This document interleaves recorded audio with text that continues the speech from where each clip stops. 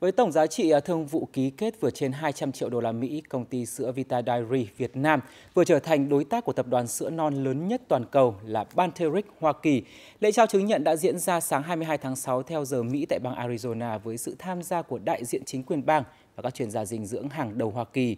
Lễ ký kết này thì đã đưa Vita Dairy từ đối tác tiên phong cách đây 3 năm trở thành đối tác số 1 của tập đoàn Banteric nhờ đã tạo ra nhiều đột phá trong ứng dụng công nghệ và nguyên liệu sữa non Colot IgG 24 giờ vào các sản phẩm dinh dưỡng giúp tăng miễn dịch, sức khỏe và tiêu hóa cho cộng đồng. Sự hợp tác không chỉ giúp đưa những nghiên cứu về dinh dưỡng, công nghệ sinh học và giải pháp chăm sóc sức khỏe của họ phát sớm hơn hiệu quả trong cuộc sống mà còn tạo ra hàng trăm việc làm cho lao động tại bang Arizona. Đồng thời, sự hợp tác giữa hai doanh nghiệp còn là tham chiếu quan trọng và là động lực để các doanh nghiệp khác của hai bên có thể tăng cường hợp tác thương mại trong thời gian tới.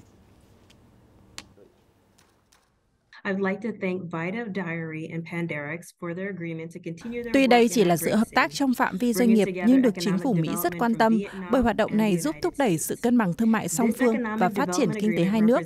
Bên cạnh đó, việc ứng dụng khoa học công nghệ sẽ mang lại ý nghĩa to lớn nhằm nâng cao sức khỏe cộng đồng. Từ kết quả hợp tác hai bên thời gian qua, tôi tin tưởng sẽ tạo ra nhiều sản phẩm dinh dưỡng giúp tăng cường sức khỏe miễn dịch không chỉ dành cho người dân Việt Nam mà còn cho người dân trên thế giới.